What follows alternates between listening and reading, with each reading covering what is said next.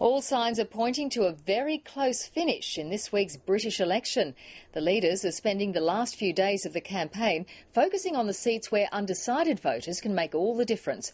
Gordon Brown, meanwhile, appears to have rediscovered his political voice. He's made an impassioned speech calling for justice and fairness. But as Europe correspondent Philip Williams reports, it may come too late to save Labour.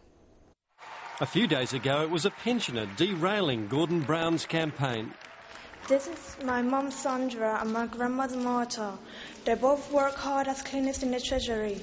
They were brave to speak out, and I suppose I am too. But now it was a story told by a teenage girl of her family struggling to survive on meagre public sector wages that stirred prime ministerial passions. Because we must lead by example, Labour is pledged to go even further by asking all Whitehall departments to back the campaign that you have led and to which I pay tribute, the campaign for the living wage.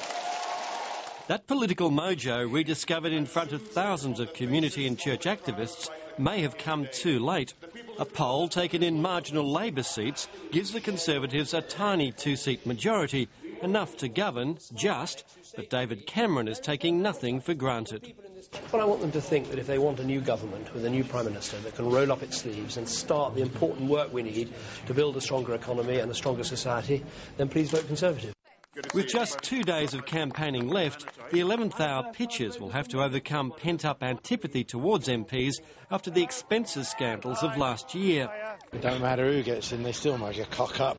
With attitudes like that, it may end up a contest of the least unpopular. And on current polls, the Conservatives still with the strongest chance to govern alone. Philip Williams, ABC News, London.